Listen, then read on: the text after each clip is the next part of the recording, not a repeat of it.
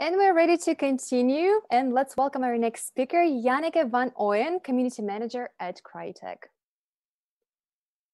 Hello, Janneke. Can you hear me? Yes, can you hear me? Fantastic. Yes. How are you Hi. today? Yeah, good. How are you? Oh, very good. Thank you. Um, how's everything going with you? Where are you located?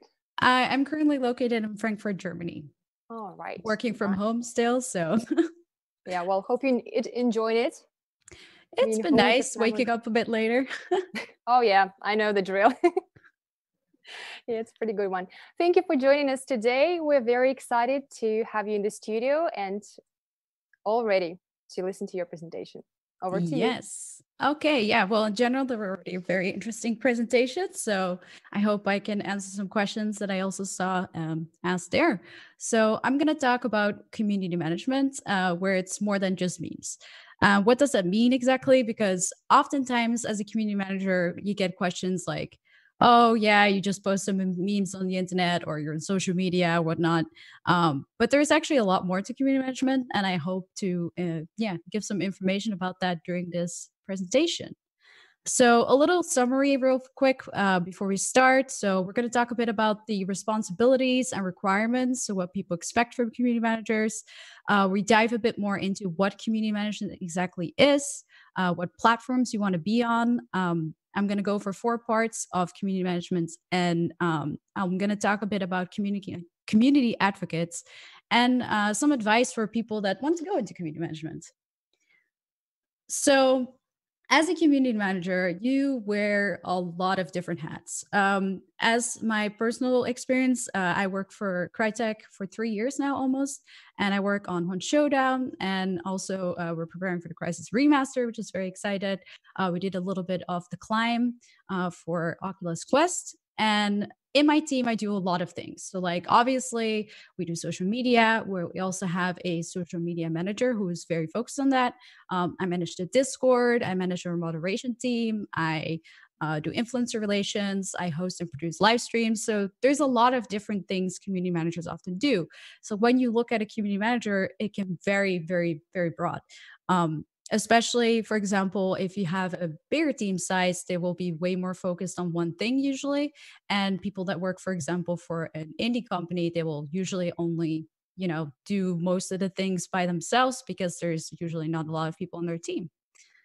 So there are quite a lot of different job listing requirements when you search for a community manager position. And i wanted to go over a few things that you usually see or sometimes see uh, in some of these listings so first off it's quite basic uh, general acknowledgement of social media different platforms uh, twitter facebook instagram those are more the standard.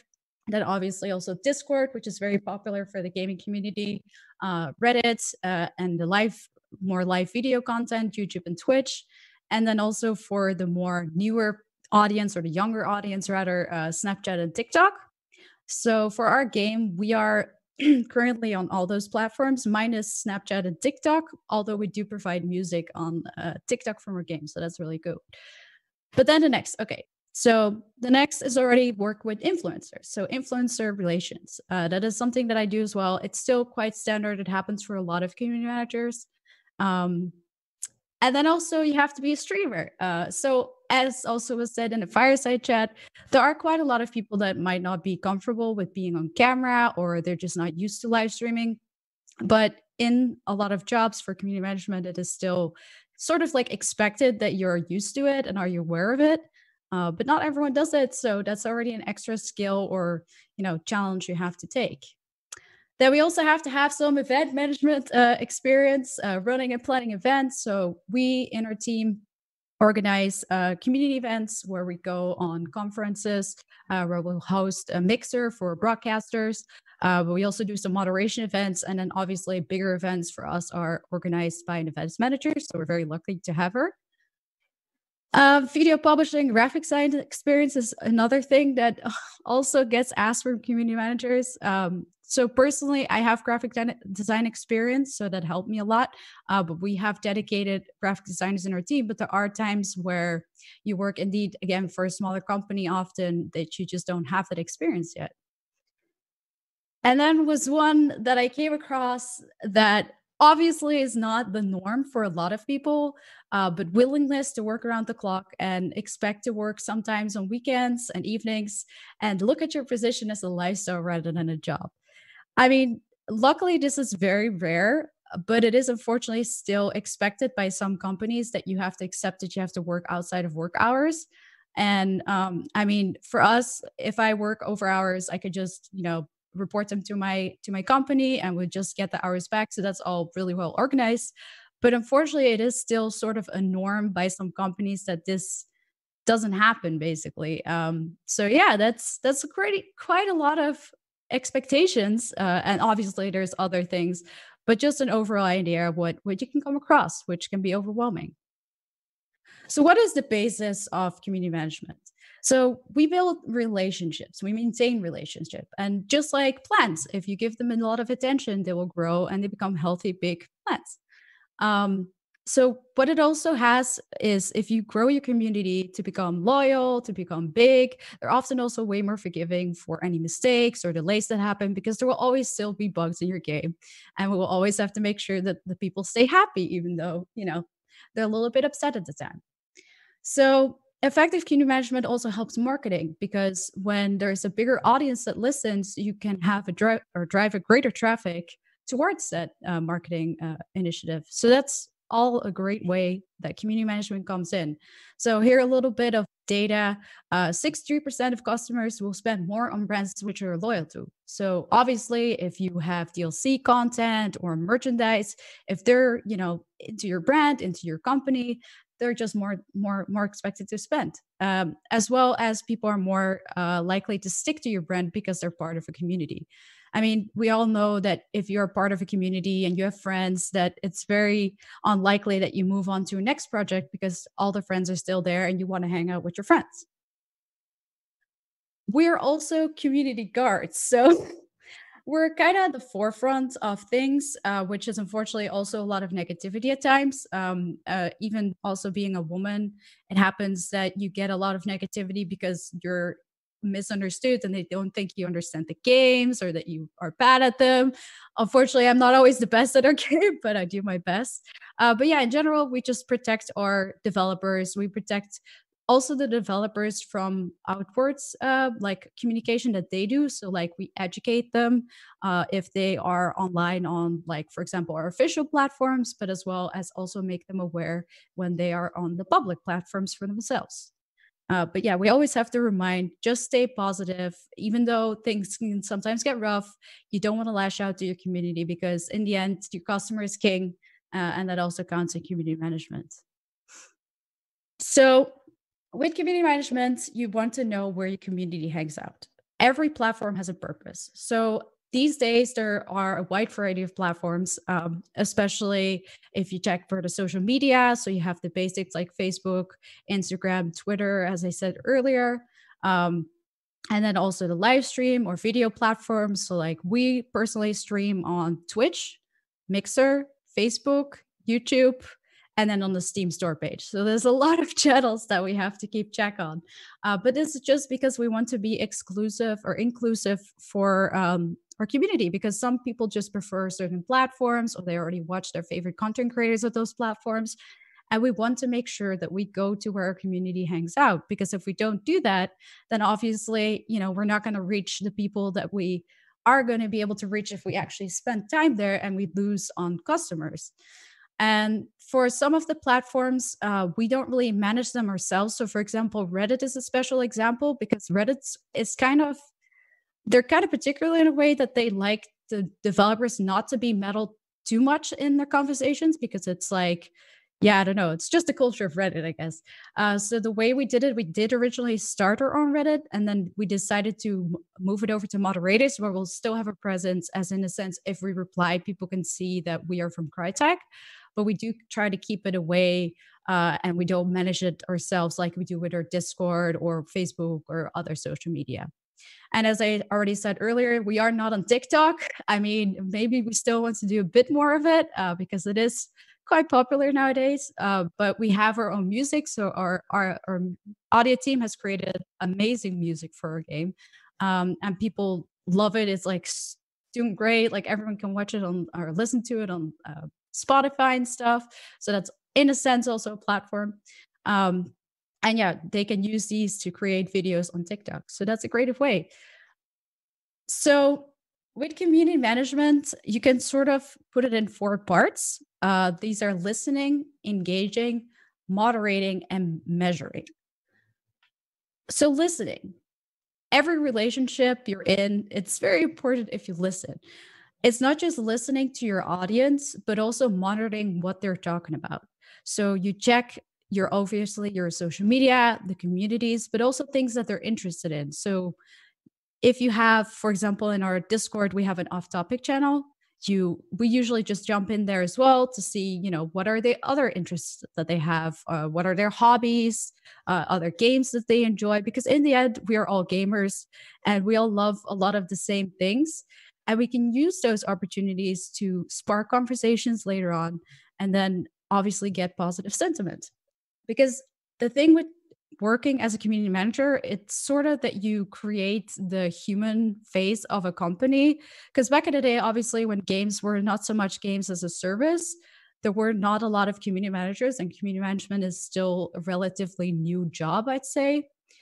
And since we're able to, you know, show ourselves that we are also interested in the things that they're interested in, makes us us just seem seem more human. Um, but yeah, we just track conversations. Sometimes it is also a great way to jump on, for example, a hashtag that is popular or a movement that's important that you want to speak out of. Um, and use all those things to get a good idea what's going on what are people talking about what are people complaining about what are people happy about and use that uh, in your in your uh, strategies so engaging uh, talking to your community i'm just quickly um, so starting and conversation, starting and keeping conversations going. So what we do, we engage, uh, for example, on social media where we obviously have our content. So we post, you know, news posts, we post uh, fan arts, we post uh, just clips from our games, but we also ask questions. So we want to make sure that when we post something, that we can get a reaction back from our community to then engage further with and create buzz. Um, and especially in our Discord, it's a lot easier because there's a Q&A section where people can directly talk with people.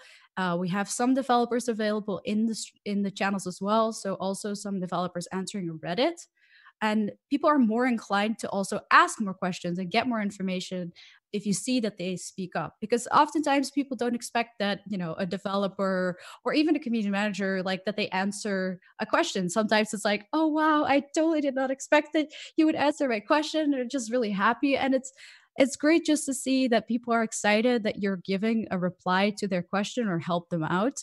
And in general, you always have to make sure that when there's issues being reported, that you get those answers or questions answered because that just will make them positive even when they have problems. Yeah. Um, so, and again, also just make sure that you engage also in some off topic conversations because, as I said before, it just makes you seem more human. It knows that you're all interested in all aspects of the game and just keep things going. So, one thing we do all of that uh, that is very important is moderation. So, always make sure you have clear rules in your community. I know that some communities are a bit more loose and they let things go, but there can always be a discussion if, for example, uh, something offensive gets said, but there's no clear rule stated for it. And I mean, it has happened for us uh, as well in the past where you you have a rule but it's not completely clear so people can try to circumvent these. But it is just important that you start with a rule set for like your social channels or for your game. So we have a code of conduct for a game that are rules that people have to you know comply to. We have specific rules for discord we have specific rules for our reddit um, and then we also on top of that use a moderation team. So as a community manager obviously there's so many channels there is day and night conversations that you will not be able to be at because well you have sleep. Um, so we have a moderation team and those moderators also moderate our live streams so when we do uh, dev live streams or gameplay live streams we have people in the chat that monitor like the conversations and make sure that we have no you know toxic people. And the moderators um, also have a like the system that we have is we have contributors and moderators. So contributors are technically the pre-moderators and they don't have any rights, but they are like highlighted because they have a specific color in the street or in the chat. Uh, and they will help answer people's questions. So when we look for moderators, we first give them a contributor role, which is basically the trail period of them and then we'll see how they behave. So what we look for in a good moderator, first off, is always be active and be friendly. You don't want someone who, you know, tries to slam their band hammer everywhere and is very full of themselves because that just will create more toxicity and that's something you do not want. And also, you have to make sure that you have moderators and just in general, as a community manager, to understand that you have to ignore trolls. There will always be people that are there just to spread toxicity, and also just to you know fool around or just make the community sour i just want to get rid of them. So we work with a system uh, specifically in our discord for example where we have a bot set up and when someone is offensive let's say it's a light offense they're just breaking some rules we'll have the moderator or myself will you know let them know hey you have made a mistake by using a, a command in our bot which then logs the warning. And when we log the warning, we can obviously see if someone does the same offense again or something different that we have tracked what they have done bad previously uh, to then give them either a timeout or a permanent ban. So we usually work with a timeout first, which we use the bot for as well, because there's no feature yet in Discord that like you can kick people, but you can't permanently ban or like temporarily ban them. Um, so we just use the bot to then give them a temporarily timeout. We call it the naughty corner. Uh, and then afterwards, they can come out after a week. And if they behave again, like it's fine. But obviously, all those offenses are still tracked. So that just gives us a really good way to keep our community clean. Uh, from any toxicity, from any negativity, because there's also people that are technically not breaking the rules, but they just bring a very negative demeanor to your to your like community where they're always like complaining or whatnot. So it's always very tricky to handle those people because you just you know they, they're not breaking any rules but they're still bringing the community down. So usually what i do is like i'll just have a conversation with those people explain them what their behavior is doing and then hopefully you know see if they can figure out that they have to behave better or uh, eventually they'll just get a timeout to think things through without talking uh, but yeah, so having a good moderation team, very important. You can't do everything alone. You can't answer questions when you're asleep, but they're able to. Measuring. So analyzing how your brand is perceived and your game is perceived and getting feedback. So the way we measure uh, our feedback and uh, just how well our community is doing and how the game is doing, uh, we do weekly sentiment reports. So sentiment reports is where we check every channel, so like all our social media channels, and we check for um, positive sentiment, mixed sentiment, and negative sentiment. So, like positive obviously speaks for itself when something's great. Uh, mixed is when there are, you know, mixed opinions about something or there is an issue, but it's not affecting that many people. And then you have negative sentiment, which is obviously negative. So sometimes it's a little bit hard to give proper numbers or like you know, measure ROI, return of investment, for sentiment and feedback. Because with sentiment reports, the way I always describe it, it's sort of like what the town the, the talk of the town is like you live in a small town there's always a lot of people everyone knows each other um, and some people are talking about something and because it's a small town everyone will hear about it because it gets you know slung around mouth to mouth um, but you don't know exactly how many people are there talking about it. So that's what we do usually when sentiment is how I describe it. Um, we just see what people are talking about most and then if we want to get actual numbers we will do you know surveys uh, specifically for example if there is a um, very controversial feature that was added or something that they're just not sure about we just want to get extra data and we'll go into detail and get actual numbers that we can also present to uh, our team and our management. And then also we do the weekly sentiments uh, regardless and also whenever we have updates. So people really know what's going on and what people's opinions are after updates then also something there are some tools that measure sentiments, but the issue with most of those tools is, at least unfortunately till this day, there's also no bots for Discord yet. I really wish. Um, the issue with that is that often it like regener- generates some numbers, but most of the feedback it's very abstract. So it will have like bug or disconnect, but you don't really know why people are disconnecting or what bug they're having. Uh, so what we do for that is just we just go into detail. We, either we look for keywords in our channels to figure out what people are talking about, but at least that we get a better idea uh, what it actually is that the issue is. And then sometimes we'll manually count how many people are talking about it when we report an issue to our dev team. Um, for feedback, we used to use UserVoice, which is it's a great tool, definitely, um, where people can input an idea and then other people can upvote that idea. And the only issue that we had with it was that there was no downvote option. So with um, with without downvotes, like people can like an idea and it can get a lot of upvotes, but you still don't really know if there's people that actually don't like that idea. So what we did based on another Discord that I'd seen uh, we put a, a feedback suggestions uh, channel in our Discord where people can put an idea. And then we have a bot that automatically upvotes and downvotes the idea so people can vote on either options.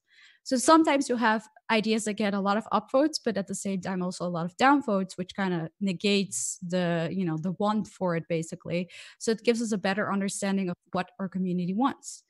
Um, and then what we do is we gather all of those uh, like top voted ideas per month and report that to our dev team so they exactly know, you know, this is what a community wants. Some features might be big, some features might be small, but to get an understanding of what the community wants and needs. Um, and I mean the same thing. We have Q and A channels for regular help, uh, for regular questions. We do Q and A's after developer live streams.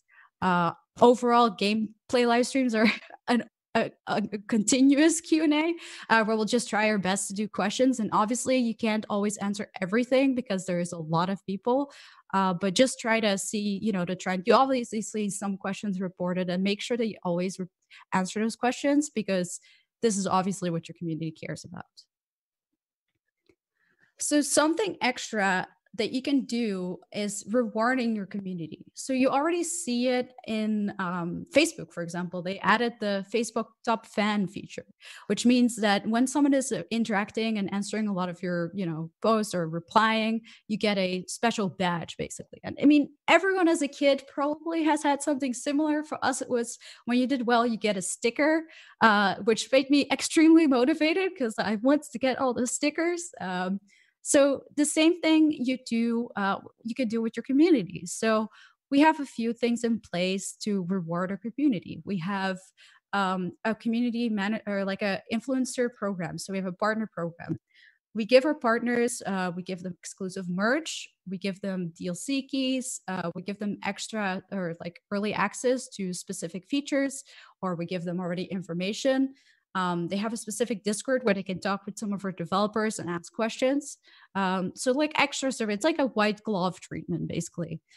But we also do something for our moderators because most of the moderation teams for most companies and games are free. So you have a lot of people that are helping you day in day out with so many questions customer support whatnot and oftentimes those people don't get rewarded.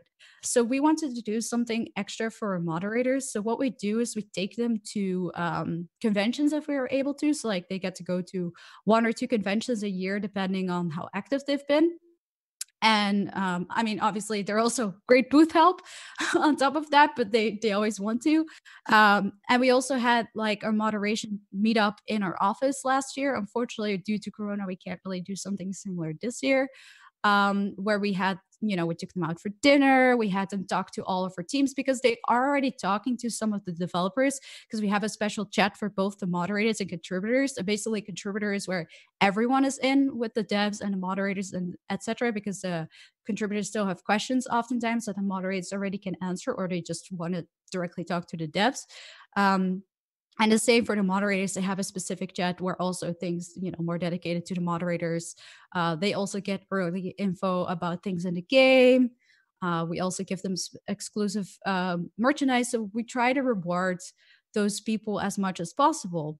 Because if you have advocates for the game like it's a super strong um like feature well not feature but a strong motivator for people to be involved because you see so many people you know talk about your game positively they see that they're being seen basically and the same goes for fan communities, wikis, and other uh, special like fan pages.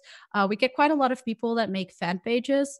Uh, so, for example, in our Discord, um, originally we started with language specific channels do never do that if you can't have the people that kind of goes back a bit to the moderation earlier.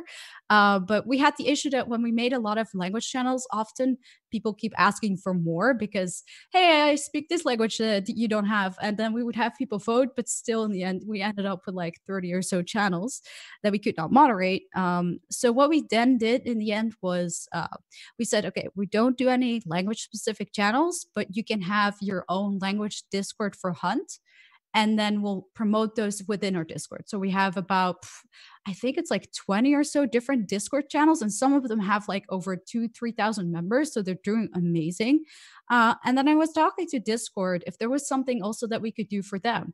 So we had an ability or the possibility to give some of our biggest communities uh, special rights to get like a custom URL. So they're like Hunt Russia, Hunt France, Hunt Germany, so that they have an extra space. Uh, and we also specifically highlight the um, promoted communities uh, in a different Discord channel where they stand out from the other language Discord channels. So just to give them a bit of recognition for what they do, because obviously they also manage communities for us that we're unable to speak to. So, like, we do have a Russian, a Chinese, and a German community manager that are all um, remote that work a few lesser hours, but they still, you know, have already communities that they were able to jump into and support and give more like an official presence, so to say, while they have been promoting us for a long time. So we also find it really important that we give those communities, for example, keys to share with their game or community and uh, also some information sometimes earlier to, for example, wikis or uh, people that want to make a fan site so that they can prepare for news, because all of those people are getting informed by them. And you would be crazy to not reward that because they're technically doing you a huge favor by doing free work. And we should like that. so, one thing about community management um, that is very important is to take care of yourself. This is more on the personal side of like what it is to be a community manager because a lot of us are guilty and have done at some point or might still do it sometimes. I mean, I'm myself included, will sometimes still check after work, reply to a few messages in Discord, reply to a few messages in Twitter. And obviously that's how it works. And things can get crazy because you're already doing a lot of, you know, different jobs within community management you always have to make sure that you take care of yourself. So, something that I had to learn was try to not always be online. Try to take time for yourself when you have a day off or when you have a weekend. Just don't go on Discord, don't go on social media, and have a social media free weekend. It's always important to take your time because at some point there will always be people that keep asking questions and you want to help everyone and that's very understandable because you all a lot of times you feel like you might le- let your community down or oh they have such a bad issue and like i can be there for them. And also there are some people that for example have a lot of personal problems and start seeing you as a friend.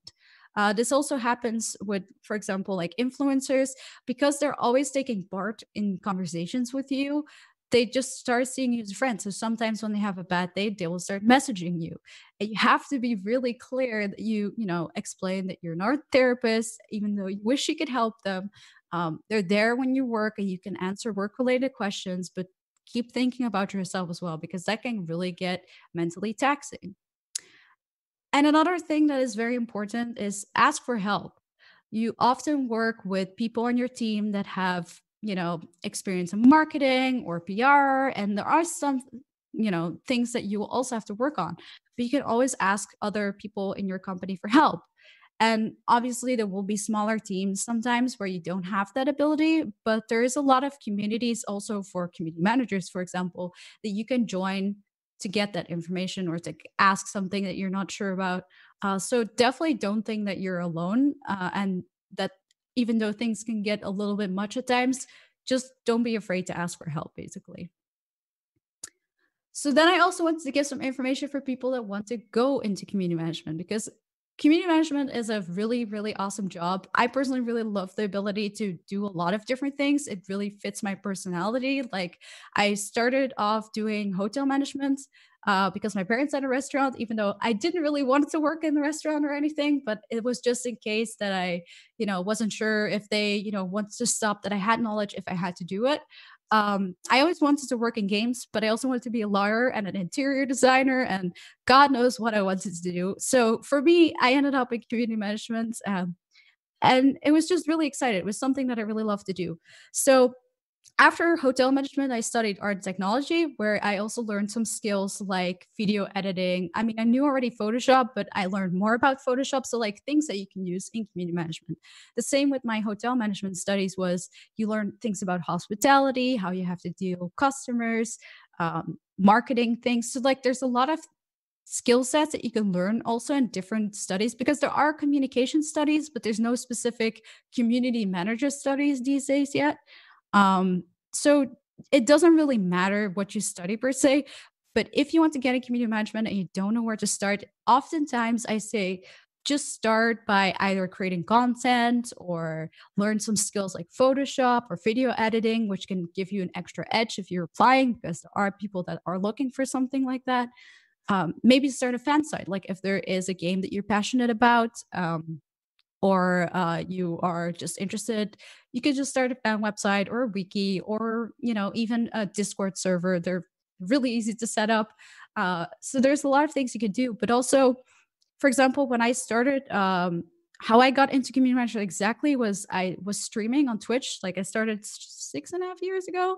Um, so I already started going to conventions. I knew a lot of people. And then sometimes I ran into someone who worked for an indie company and were like, yeah, you seem great. Do you want to work for us? And I was like, yes, I do. Um, and then eventually, so I worked for them remote. Uh, then eventually, as a streamer again, I was doing a uh, play test for a game called uh, for Streamline for a company Proletariat in Boston uh, at PAX East. And I was talking to their community manager, Jenny, was amazing. Um, and I saw that they had a position open. I was like, why the heck not? Do you guys want to hire me? Uh, so I went there. I went to Boston. Uh, worked there for nine months because unfortunately my visa had to end. Uh, strict rules in America. Um, so and then I just applied at Crytek, and now I've been here for three years. So what I give as advice is just try, like go for it. There's always um, times where you feel, oh, this asks for four years experience, or uh, this one expects me to know this and this and this. If you never try, you never know you're going to get it. So, like we have a saying in the Netherlands called, um, "You already have a no, you can always make it a yes."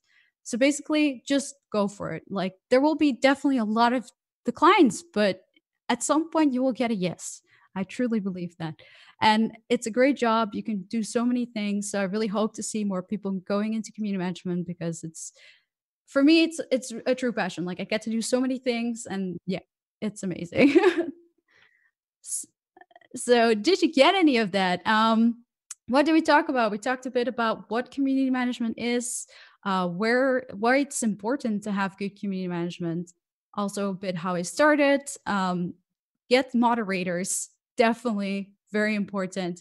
And if you want to get in community management, make sure that you take care of yourself, learn some skills, and just enrich yourself. And yeah, I hope there are any questions. Thank you very much for your presentation, Janneke. It was fantastic. I loved your the style of your presentation, by the way. I drew those myself. Did you? Oh yeah. wow. We're all impressed here. Okay, yeah. I wish my my monitor, my other monitor, where I had the questions, stopped working. So like, no, I can't see anything anymore. Okay, well, that was fantastic. To be honest with you, well done. Yeah. We have a few questions for you from the audience. Um, yeah. The first one from Susanna Liskova. Do you think there is a difference in style of community management when it comes to one-time purchase games, premium comparing to live games that heavily rely on frequent updates and events? So you mean games as a service basically yeah. to games that are yeah. Um I mean, I definitely think there is a big difference. I mean, especially because obviously, usually when you launch a game that is uh, just a game, it's done. Mm-hmm. There's not a lot of feedback that can happen.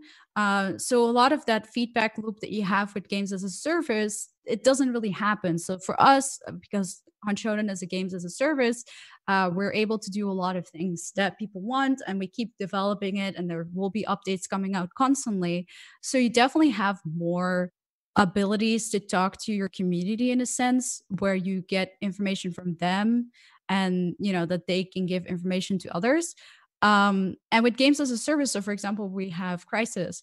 Uh, everyone knows Crysis probably.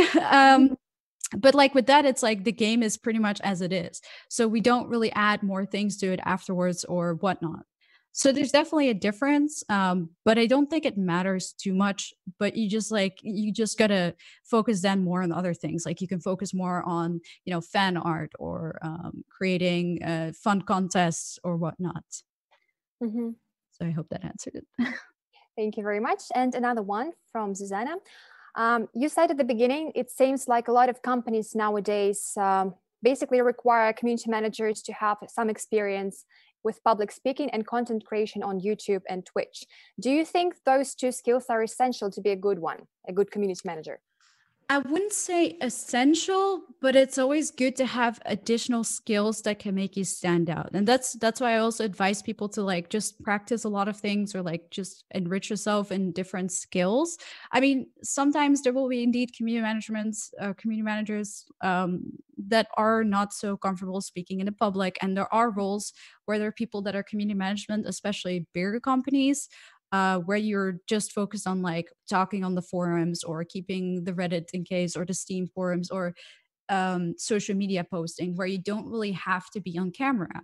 Um, so for those, no, I don't think it's per se uh, an essential skill, but it would be a good to have skill, especially if you want to look for longer term because usually in community management, like you will be at a lot of different companies at some point it's not like that many people are always working for the same company for 10 years and you always do mm-hmm. the same thing um so just if you think about it also for the future like obviously live streaming is very uh, becoming more and more popular i mean we're doing live uh, conference right now mm-hmm. um so yeah just i just if you can do it or want to do it i would say get some information or try it um but it's not per se a necessity mm-hmm.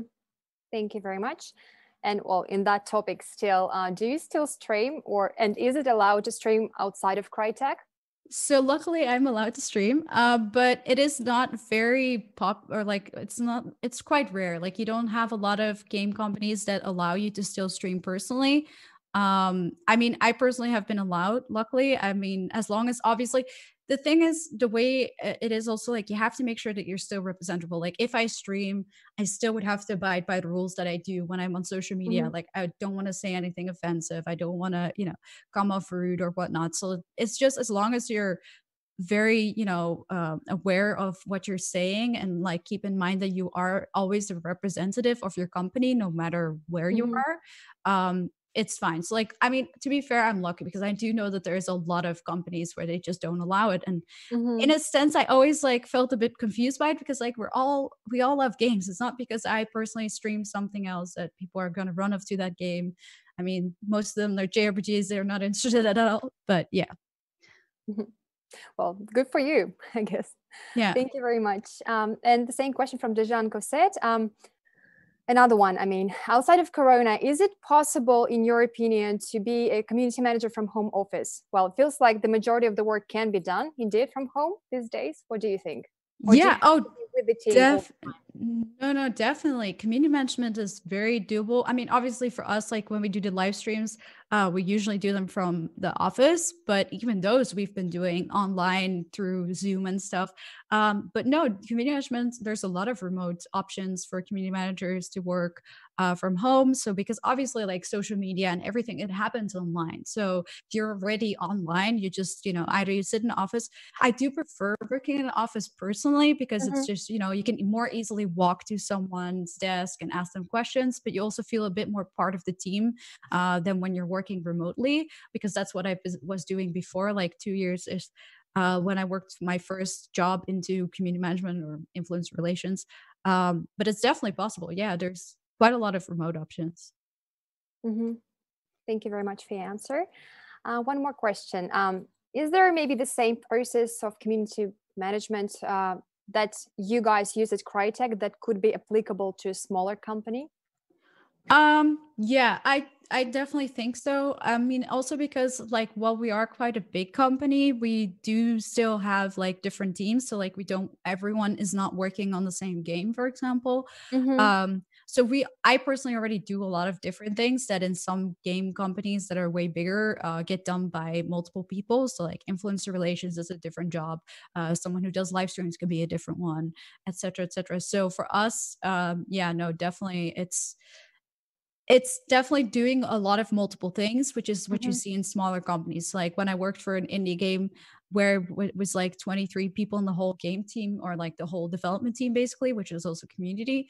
Um, I also just did I just did multiple things. Uh, so definitely that doing multiple roles and being, you know, Mhm. and skilled in different things basically. Okay, thank you very much. And the final question for now from Igor Lima. Uh, do you think that allowing people to contribute to your game, for example, with 3D models and art, is it a nice thing or can it be trouble for you? So we actually have done a specific contest uh, for uh, designing some skins for weapons. So like uh, overall, we don't accept people that you know. Uh, sometimes people say, "Oh, uh, I can make you a new map for your game," or "We'll make you this for your game," uh, which is nice, obviously. But there's a lot of standards that have to be upheld, and then also a lot of legal legal things that you have to keep in mind.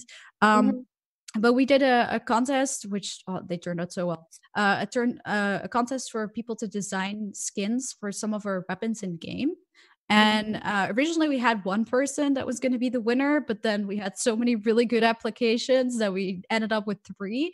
Um, so as long as there are clear like legal rules because you have to have contest rules you have to make sure that everyone is you know signed off that they can actually use this uh, in our game because obviously there's you know if there's mhm. uh, premium currency or what uh, involved um, or just purchase and uh, copyright laws uh, as long as there's clear rules uh, for things like contests and stuff, it's definitely possible. And I think it's a great thing because they get the recognition for something that they've done.